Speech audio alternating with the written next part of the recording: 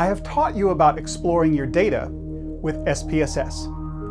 But there's another very important way that you want to be able to explore your data with your own eyes. Now, I'm going to show you how to summarize your data in an easily human readable format using the codebook in IBM SPSS Statistics.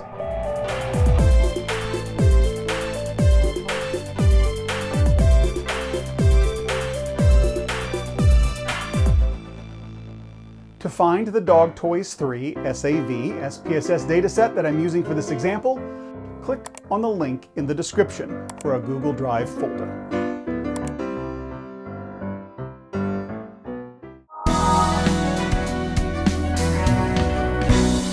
If you have been following along with our data project so far, you now know that SPSS makes it very easy to analyze data. You may also have noticed that our dog toys dataset has been growing as we create new variables. But what if you had not been following along? What if you encountered this dataset knowing nothing about the previous training videos? What if I want to collaborate with you and I want to show you the most important information about the dog toys data, like some of the summary statistics and the structure of the variables? The answer is to create a codebook of the dataset. A codebook reports the dictionary information, such as variable names, variable labels, value labels, missing values, and the summary statistics for all of your variables, or for just the variables that you specify. The nominal and ordinal variables are summarized as counts and percentages. Scale variables are summarized with the mean, standard deviation, and quartiles. The codebook is also a handy way to archive your data for reference while you are doing an analysis. And later, when you return to the data and want to remember what was in that data set, you will have the codebook to guide you. So let's do it. From the menus, choose Analyze, Reports, Codebook the codebook window opens. We are on the Variables tab. Now for this lesson, I'm actually going to create this codebook twice.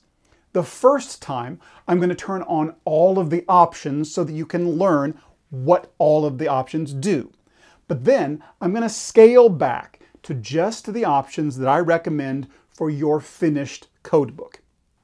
I want to show you the results that you get for each level of measurement.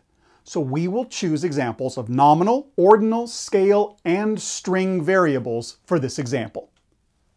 I will choose the unique identification number. I'm double clicking on the variable to move it over. And then both of my scale variables, toys owned and days to fail. I will choose the nominal version of favorite toy, dog breed, size of dog, which is actually ordinal, toy chosen, and the string variable, favorite toy of 5. I will use these same variables for the second codebook as well. Now click on the Output tab. This first time through, we will turn on all of the options. The variable information options are on by default.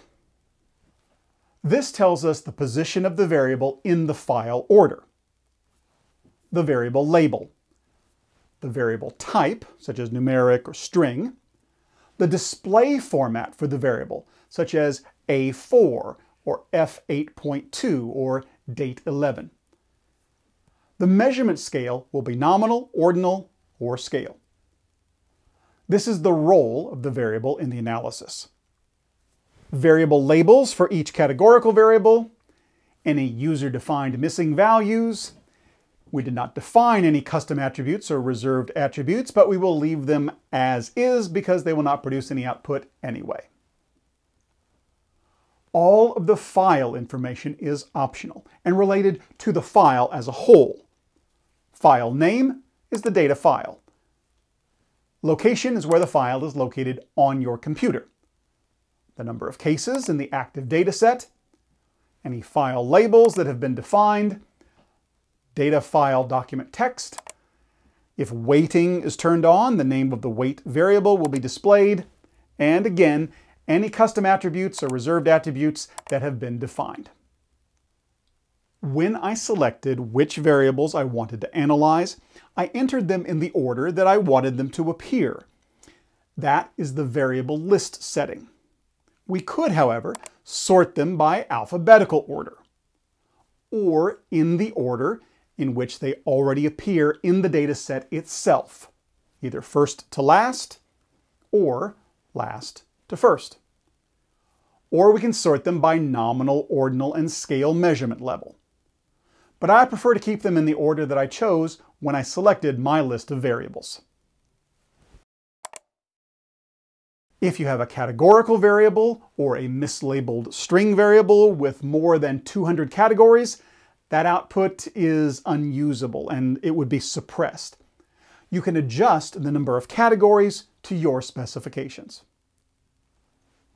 The Statistics tab allows you to control the summary statistics that are included in the output, or to suppress the display of the summary statistics entirely.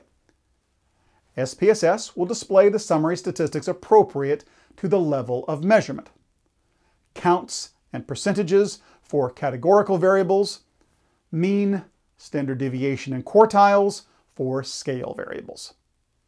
And that is all of our settings. So we can click OK. In the viewer, we see our codebook. Our purpose now is to see what information we have and then determine what information we want to keep for our final codebook. The first results are for the file information. I like knowing the name and location of the file, especially if I've put my dataset in a folder where it will stay long term.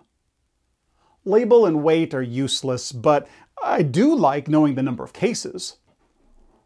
The next results are for the unique identification number there is a single number for each dog, and this is not very useful. I'm going to remove this variable entirely. toys owned and days to fail are both scale variables. I'm not particularly interested in their position in the data. Now, labels are nice. I already know they're numeric. The F in the format indicates that they are numeric. The F3 tells us the width setting of the data. Again, not particularly useful. I do like knowing the measurement, but the role is not really used in SPSS, so I'll drop it. Because these are scale variables, we get mean, standard deviation, and the quartiles for the descriptive statistics. For categorical variables like breed and favorite toy, knowing the value labels will be very important. For categorical variables, we get counts and percents. I like that. The ordinal variable, size of dog, is better when we know the value labels. Again, we get counts and percentages for the categories. At the bottom, the string variable is identified as A14 for a string variable 14 units wide and we get the names of the categories instead of the numbers with their labels. Remember, we already have this same variable in a numeric form, so I am just going to drop the string version. Great. Now I know what settings I really want, so let's dial in exactly the right combination for our codebook.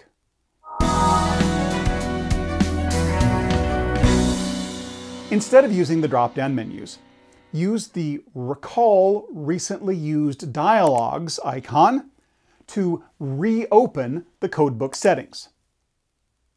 In the Variables box, I'm going to remove the unique identifier and the string variable. For the output, under Variable Information, I'm going to choose only the label, the measurement level, and the value labels and the count of any missing values. For the file information, I'm going to keep only file name, location, and the number of cases.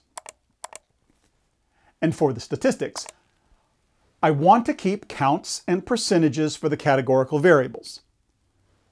The mean and the standard deviation will do for the scale variables, but I'm going to turn off quartiles. Now click OK once again.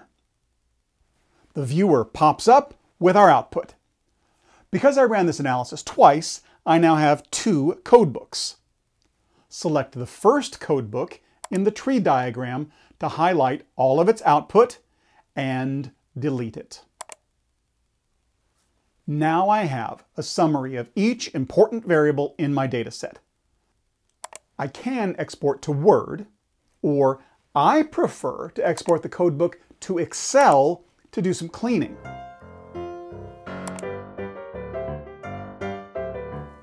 And I save it all to my desktop.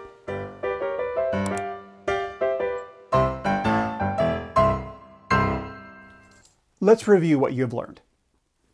You can create a codebook for your variables.